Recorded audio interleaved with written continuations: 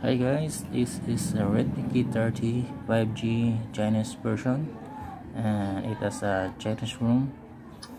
And yesterday I received the OTA Android 11 so I did update it and after my update uh, my Google Play Store did not work properly. So I did some troubleshooting and I did a factory reset because uh, Play Store is not working properly. So what I did is reinstall the Play Store. But uh, it has problem. Uh, the Play Store on the Get app is not working on Android 11 so I did look for a compatible version. Uh, I did found this uh, this I found this installer that works on work on Android 11 here in the Chinese version. So you just need to download it after you download it. Uh, extract it and okay. You just need to install the the services framework. The Google account manager. Uh, and the play services plus the the Play Store itself. Uh, upon installing it, do not do not install Gboard. You can install all the other Google apps except Gboard because it will nag you that it has a problem with Play services and it will make you upgrade your Play services but once you upgrade your play services uh, it will start to it start to become buggy. The play store will stop syncing and you won't be able to you won't be able to search for apps.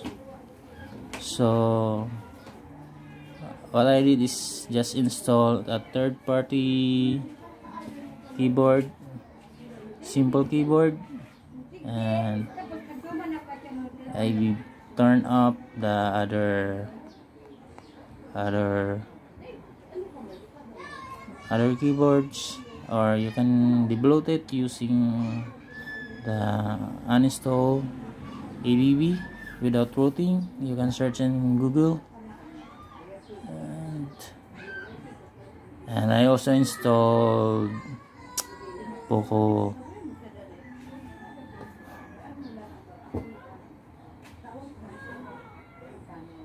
Poco launcher and uh, also just install Google Google Apps Google.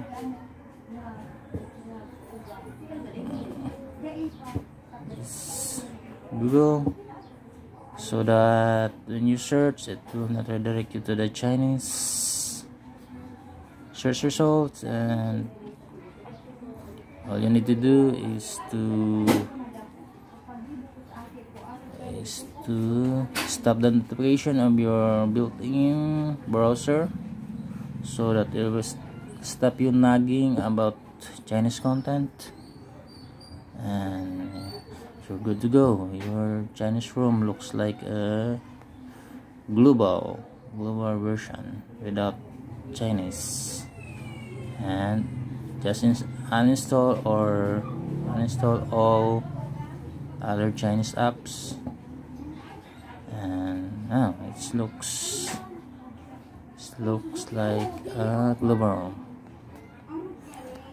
Play Store working properly. So it's work properly.